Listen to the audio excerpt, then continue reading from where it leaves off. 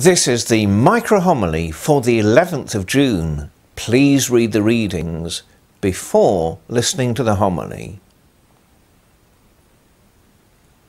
In that second reading, although St. Paul describes rightly the love of Christ as unknowable, nothing in our human experience can give us anything to compare with the depth of God's love Yet he still prays we may come to know it. Well, only by experiencing divine love and participating it is that possible. Not to know it in any complete sense, but to get perhaps a glimpse of the depth of God's love Hosea got that glimpse, the prophet in the first reading. He uses this tender imagery of parent and child. He expresses God's determination to communicate to people that God isn't eager to destroy. His love makes him eager to save, to forgive, to reconcile. After all these comforting words, why that gospel? Why didn't we have some of the comforting words of Jesus, like that saying that you're worth more than hundreds of sparrows, every hair on your head has been counted? Why do we go to the agony and horror of the cross?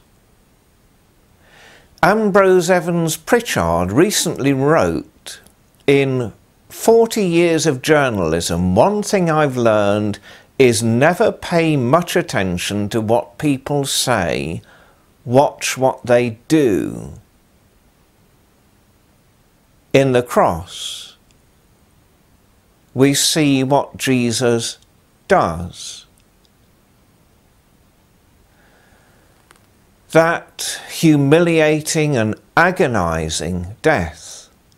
The price Jesus is willing to pay, the mechanism that he will endure to bring straying humanity back to a right relationship with God, to reconcile us, to enfold us again in the heart of God's love. We celebrate today the solemnity of the Sacred Heart.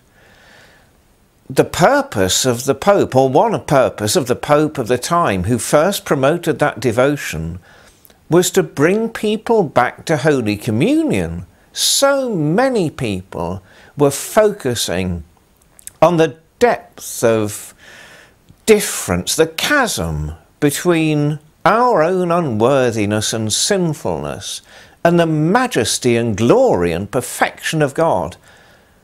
That some people were going to communion only once a year and some never. Well, yes, we say, Lord, I'm not worthy to receive you. But thankfully, devotion to the Sacred Heart has helped us to understand that worthy or not, God desires to give us these gifts.